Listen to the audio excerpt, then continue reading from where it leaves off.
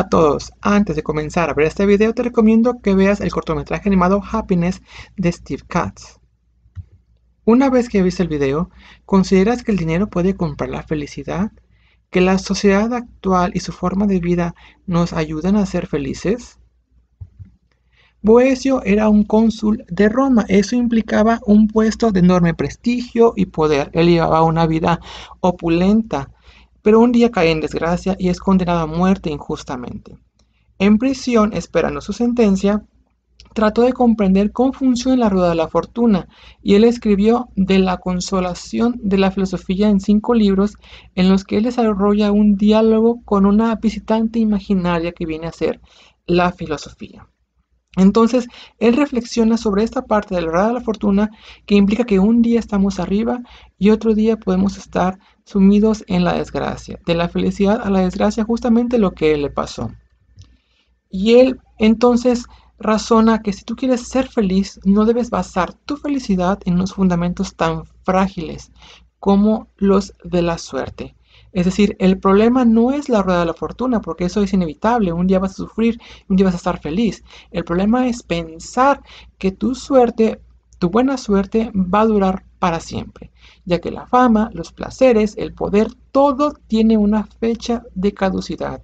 Algún día alguien te va a olvidar, puedes envejecer y podrías llegar a morir solo. Y entonces Boesio entra en esta duda, ¿no? Si hay un Dios, entonces ¿por qué nos ocurren cosas malas como la que le pasó a él? Y si es que no existen, entonces ¿por qué ocurren cosas buenas? Es decir, tenemos la idea de que todo está escrito o nos inculcan que hay un destino para todo.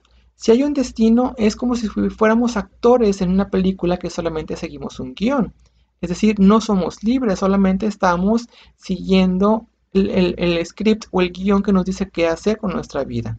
Si hay libertad, eso implica que no debería haber un destino ya escrito. O al contrario, si hay un destino ya escrito, no tenemos libertad.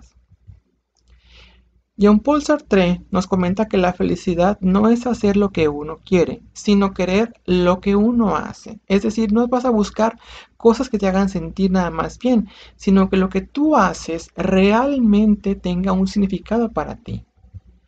Aquí conviene conocer el mito de Sísifo. Sísifo engañó a los dioses para poder escapar de los infiernos y Zeus lo castigó por toda la eternidad a subir una gran piedra hasta la cumbre del inframundo. Cada vez que Sísifo llegaba a la cima, la roca rodaba hasta abajo y no tenía más remedio que volverla a subir, encerrándose así en un ciclo interminable. ¿Te suena esto familiar? La rutina es eso. Y podríamos pensar que es algo ah, triste, pero Camus también nos dice que debemos imaginar a Sísifo feliz. ¿Por qué? Porque nada de lo que hacemos tiene una importancia por sí misma. Todos los días subimos una roca, hacemos cosas rutinarias, pero podemos elegir darle un significado a lo que hacemos. Nosotros decidimos a qué le damos valor y así las cosas se vuelven importantes. Para algunas personas va a ser demasiado importante el reconocimiento de los demás y si no lo obtiene no va a ser feliz. Pero sin embargo piensa en una gran doctora que salva vidas, en un padre que se dedica a criar a sus hijos, a involucrarse en su crianza, o alguien que va a ser el mejor amigo de otra persona. Elegir una carrera que le dé propósito a tu existencia o hacer algún voluntariado en alguna causa de tu interés. No importa lo que hagas, no importa el estatus o el prestigio del puesto pues ya que tu vida está en tus manos y solamente tú tienes el poder de hacer tu vida grandiosa y solamente tú puedes decir si lo ha sido. Eso según los existencialistas. Entonces, ¿disfrutas lo que ya estás haciendo o puedes tomar decisiones para redirigir tu existencia? Aristóteles nos comenta que la felicidad es significado y el propósito de la vida, el fin de la existencia humana, pero no es tan sencillo como parece.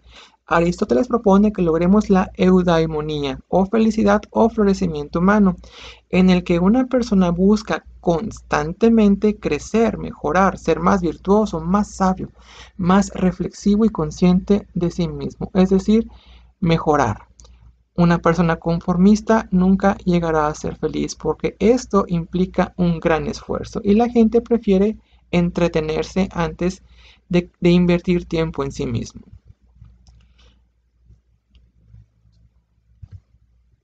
Fred Nietzsche comenta que la felicidad es el sentimiento del poder que crece, de una resistencia que queda superada, lo que viene a abonar lo anterior. Cuando algo nos cuesta mucho trabajo y al fin logramos eh, comprenderlo o ah, ser hábil, entonces sentimos una felicidad. ¿Por qué? Porque logramos superar una barrera. Entonces, ¿nos estamos esforzando por lograr metas o buscamos un camino fácil?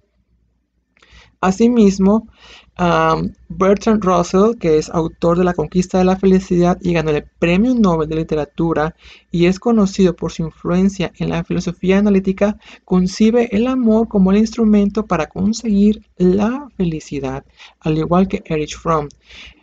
Bertrand propone que el amor ayuda a romper el ego y a superar la barrera de la vanidad que impiden ser felices. Es decir, para este, para este filósofo, el ego y la vanidad son nuestros grandes enemigos, lo que nos impide llegar al amor y así a la felicidad. ¿Y qué es esa parte del ego? No, pues cuando intentamos controlar cosas que están más allá de nuestra voluntad, de nuestro poder. Y esto es muy común, queremos que las personas sean como nosotros queramos que sean, o que la vida externa funcione como nosotros deseamos. Y lamentablemente la realidad es otra. Entonces, lo que nos recomiendan es aceptar las cosas como son y no quieras modificar a lo que está fuera de ti. Tú únicamente puedes controlar dos cosas, lo que piensas y lo que sientes.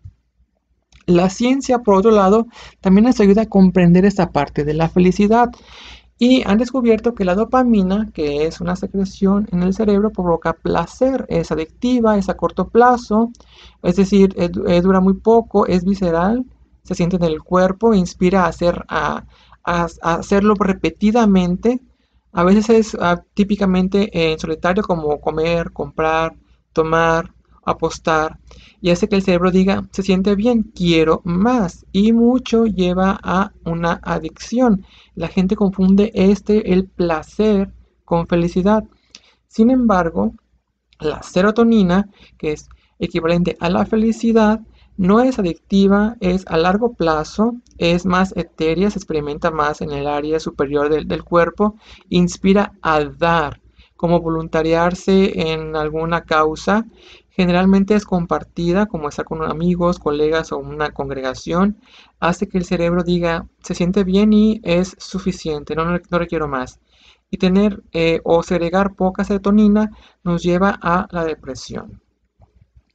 Así pues, la felicidad no debería depender del exterior. Algunas personas piensan cuando la vida se pone complicada, como en estos momentos, cuando todo esté bien, entonces yo voy a ser feliz. Esa es una felicidad falsa. La realidad o la verdadera podría ser mejor cuando estoy feliz, entonces las cosas mejoran. Pues si nuestra mente o nuestra perspectiva cambia, podemos lograr ver de diferente manera la vida. ¿Y qué nos puede ah, impedir o ilusionarnos o fantasear con una felicidad falsa, pues hay muchas cosas, la droga, el alcohol, el sexo, la fiesta, el conformismo, la comodidad, el poder, el comer, el comprar, presumir. Todas son placeres externos, son eh, disfraces simplemente. Entonces podemos decir que hay felicidad interna y externa. La externa depende de lo que tienes. Y si un día no tienes nada, pues ya no vales nada. Ese es, por eso es el peligro de depender la felicidad en lo que tú tienes. El problema no es en tener cosas, sino en que creas que eres feliz por eso. Sin embargo, entonces si tienes felicidad interna, que depende de lo que tú seas, no importa si tienes o no tienes, o si lo llegas a perder, ¿sí? Porque tú vas a seguir siendo feliz, vas a poder volver a empezar de nuevo. Entonces lo que se recomienda es que busquemos ser en lugar de tener.